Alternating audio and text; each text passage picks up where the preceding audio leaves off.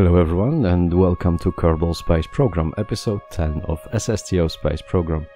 Today we are finally launching two awesome space freighters you guys voted for in the last video. The freighters that got most votes are Charon and Flame Leviathan and we will be launching those two today. We will put both our vessels in orbit using two completely different methods, just to add a little bit variation to the flow of our mission. I would like to add that I uh, will also use the bug eventually, that was a very popular vessel uh, in the vote, but uh, it is actually so small that we can just launch it anytime we want without any serious problems, so I decided that this is going to happen later in the series as we progress. So today we're focusing on Charon and Flame Leviathan because those two are not only very large, they are also very very heavy. Those of you who've watched my single launch space station video know that we could have just easily brute forced both of the vessels into orbit, but I thought it would be more interesting to find another, more cost effective method of doing it. So I ran the numbers for the Charon and I realized that uh, when it's not carrying any payload, it's almost a rocket SSTO, provided we add a bunch of mammoth engines to it. So this is precisely what I did. I added a separate engine compartment of 13 mammoth engines to the bottom of the vessel that we will use to put it in orbit, where uh, it will detach and um, the engines will eventually land back at the KSC. So we're launching the freighter in only one launch, but we will end up with empty fuel tanks and our freighter will require some refueling afterwards. I've decided to start with hub rings already deployed as well, because deploying them after launch requires some material kits and electric charge, and I wasn't exactly sure how to go about that, so I decided to circumvent the problem and launch them already in their deployed position. So, as you can see, we are finishing our circularization burn here, and with that we've placed our freighter in a 120 km orbit around Kerbin. Now, with our freighter safely in orbit, it's time to detach the engine compartment, deorbit it and land it back at the KSC. I added a couple of extra tanks to it, so we'll have enough fuel to deorbit it, but not to do a powered landing as I usually do. Also, this vessel wasn't tested before and I wasn't sure if the re-entry is going to be successful, and it turned out we had a major problem that almost led to a catastrophe. But eventually it all worked out, and you'll see what happened. And uh, I might add, it's not the only almost a catastrophe thing that happened during the course of this whole mission. So initially everything was going alright, the vessel was responding very well, we had a lot of reaction wheels so we could control it despite the lack of any control surfaces in the atmosphere. But then I realized that the probe core that was controlling it was mounted in such a way that it was actually peeking over a heat shield and that, well, that posed a major problem because I realized that it's going to be destroyed very rapidly. So I decided to activate the parachutes while we were still on our suborbital trajectory before we've lost control over the probe.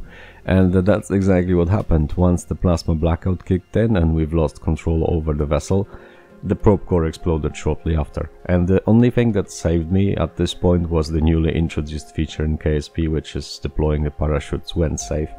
And they've actually deployed when safe, and uh, we've landed at the KSC without any major problem. But uh, otherwise, I uh, I would have to restart everything and uh, or you know sacrifice the fuel tanks with mammoth engines. But uh, provided that you guys had a pretty expensive taste and um, those two freighters that we've launched ruined our budget, I uh, I don't think that we can afford any any kind of like a major space disaster right now.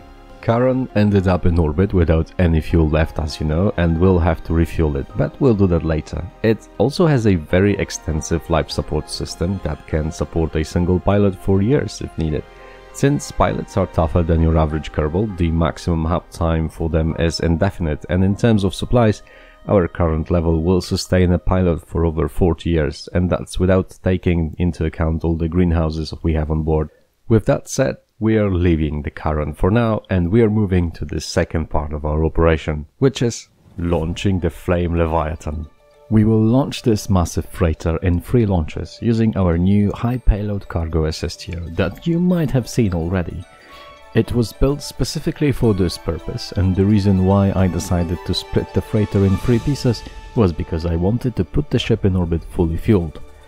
As you may know already, the SSTO that we are using today has a maximum payload capacity of 440 tons to low Kerbin orbit and is capable of delivering even very large payloads. The first part of the Flame Leviathan, which is mainly the bridge, some crew cabins, utilities and a couple of fuel tanks, was rather light and its total mass was just over 200 tons. The drawback however was that it was still too large to fit into Mark III fairing. But our new SSTO OCO-D2 was designed with such issues in mind and not only has enough engine power to overcome any drag problems you might experience due to the unusual shape of your payload obviously, it also has the option to adapt its center of mass by moving fuel around the ship. It basically starts with many empty fuel tanks and your required fuel can be redistributed to ensure correct center of mass placement. Flying this massive SSTO is actually pretty easy, despite of how it looks, and uh, it was in fact quite surprising for me. With its high, um, very high thrust to weight ratio and relatively aerodynamic shape, the vessel not only climbs easily, but also accelerates very fast. So flying it into orbit comes down to pitching up to 10 degrees and uh, grabbing a cup of coffee. I was rather happy that it was the case as we'll need to fly this ship another 3 times before we're done for today. At 15 to 16 kilometers altitude it is recommended to level your flight slightly to gain some velocity and once it's done engage closed cycle and vector engine at the back and continue upwards to orbit. The single vector engine we have installed at the back provides extra push to help us out of the atmosphere a bit quicker and is also very useful for any orbital maneuvers you might want to do because it has higher ISP than Rapier's and also a large gimbal. We are going to place the first part of our freighter in a 80 km circular orbit around Kerbin to make future encounters a bit easier, but also because our SSTO isn't rated for higher orbits. With this lighter payload it would not be a problem, but our next launches are going to be significantly heavier. At the moment we have finally circularized and we are ready to detach the front part of our freighter and leave it in orbit. As you see we have a probe core installed on the vessel and uh, lots of RCS thrusters, so even without engines we will be able to perform some minor orbital corrections if needed.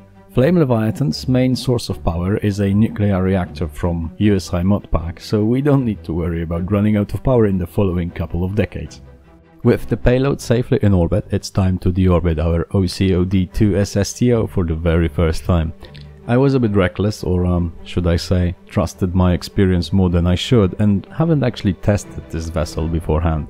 Luckily for us, our first re-entry went very well and the ship is in fact very stable and very responsive. The excess fuel we have also means that we don't need to glide our way back to KSC. In fact, doing so with such a large ship would be relatively hard. Well, it flies okay, but it's not a fighter jet, so don't expect the same sort of maneuverability from it if you decide to fly this monster yourself. Actually, I would be pretty interested in seeing what kind of crazy creations you guys could put in orbit with it a 440 ton payload would make a sizable space station already.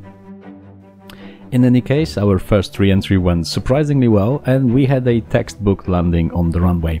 As I said, this is important as those two freighters that you guys have chosen ate almost 80% of our total budget, so recovering as much as we can is imperative. Our next launch was the engine compartment for the Flame Leviathan and this part was not only heavier, weighing a bit over 300 tons, but it also fit under the fairing, substantially reducing the overall drag. The fairing you see right now is actually the maximum size that is allowed in stock game in terms of diameter. Also, since we wanted to send this part with all its fuel tank full, I needed to pump the fuel back in the SSTO. This created some problems later, as you will see, but for now we had no problem taking off and gaining neither height nor velocity. Actually, despite heavier payload, it was even easier than before, thanks to the benefits of shielding our payload under the fairing.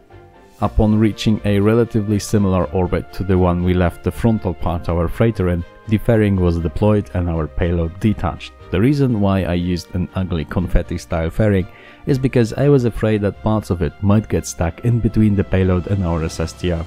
This usually leads to a very rapid and flashy unplanned disassembly and since we had Valentina as pilot, an extra care was taken to ensure nothing bad happens. We simply cannot afford to lose the only responsible Kerbal pilot we have.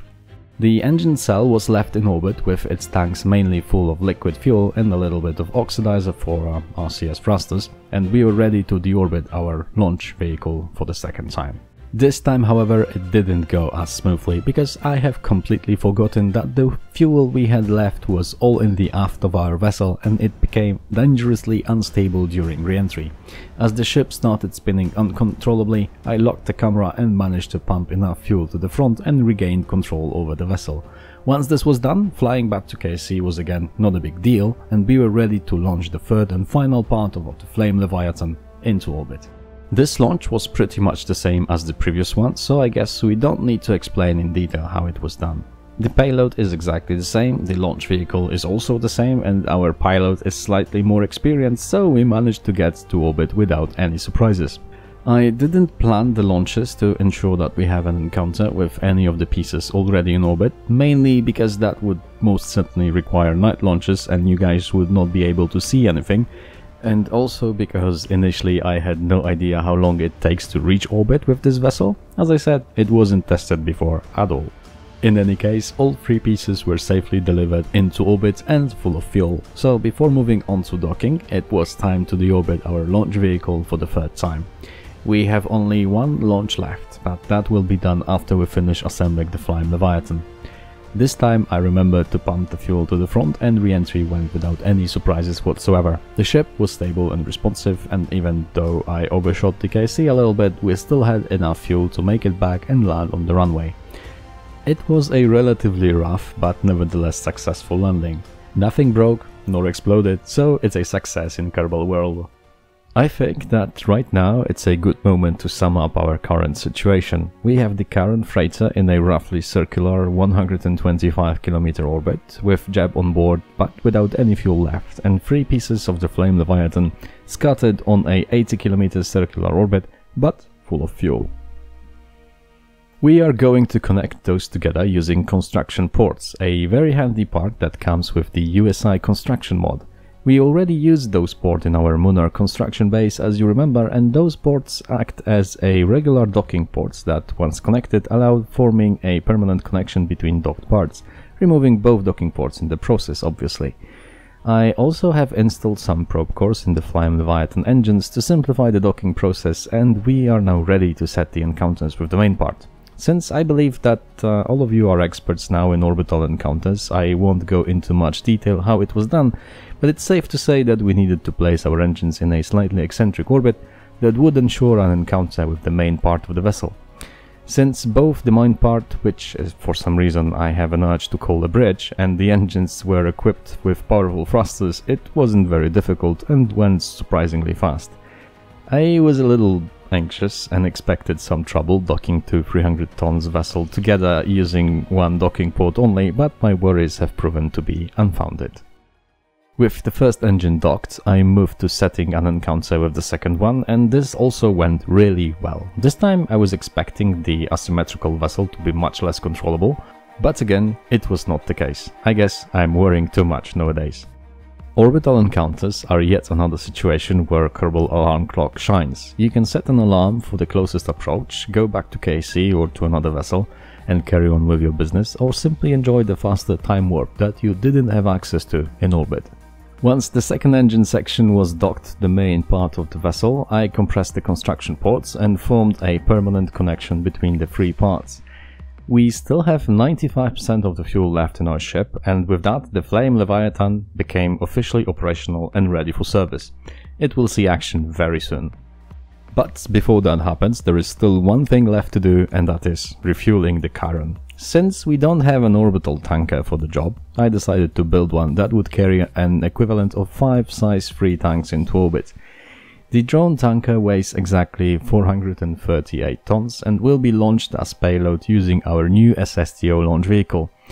It is also designed to fit inside the fairing to reduce drag. Once in orbit, it will encounter the Charon or whatever it is that we need to refuel, dock to it, transfer most of its fuel and land back at the KSC very much like the retired space shuttle would do. That was my plan, at least. And I must say that this plan worked mostly as intended, and since this was yet another vessel that I haven't tested before, I was a little bit worried that something might happen. Nevertheless, we reached orbit easily and the tanker detached from the SSTO. It has built-in solar panels and quite a lot of batteries, a number of powerful reaction wheels for maximum control, and two Poodle engines for relative balance between thrust and efficiency. As far as orbital maneuvering goes, it's a relatively well-rounded vessel. After landing the launch vehicle back at the KSC, luckily without much trouble, we recovered the vessel at its full price. Uh, we're broke now, mind you, so it's important. The tanker and Charon encounter was set. At this point I fully realized how massive this freighter is. Even though our tanker is rather large, it is still easily dwarfed by the sheer size of the Charon and we will need 6 more launches like this one to fully fuel it. We definitely need to make a refueling station around Kerbin and the Mun if our budding freight company is going to have any chances of success. Here you have a couple of beauty shots of our tanker docking to the freighter. It was actually quite hard to do since both vessels are significantly heavier than Flame Leviathan parts were.